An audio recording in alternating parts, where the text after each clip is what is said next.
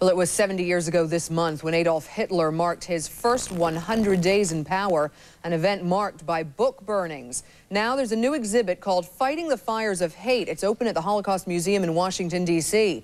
And Tom Negovin spoke to one Philadelphia woman about the memories it's bringing back for her.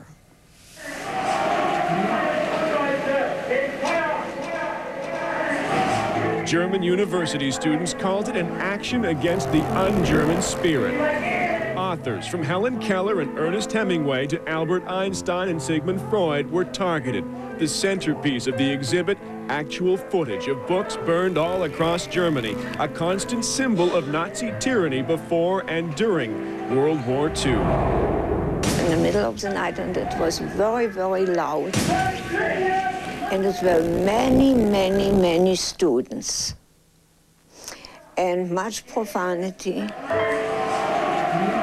Hardy Kupferberg came to Philadelphia after being liberated from a German concentration camp in 1945. She was 10 years old, growing up in Berlin when she went with her father that May night in 1933. And I saw the smoke.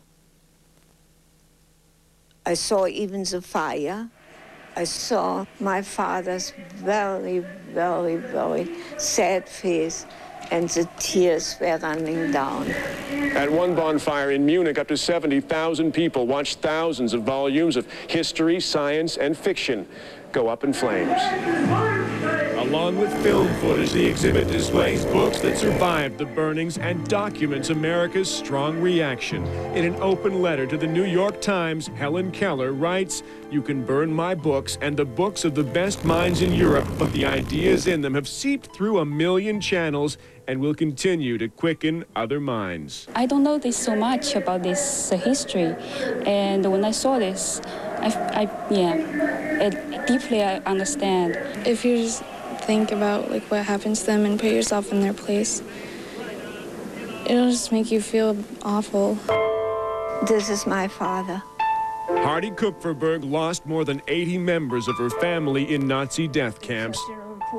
Today, her home is filled with books. She remembers what her father said on that spring night. And I heard my father say, they're burning books. When they're burning books, they can burn people.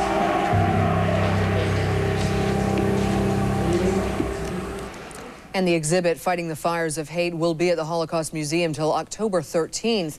After that, it will travel nationwide. But at this point, we have no word of any date being set here in Philadelphia.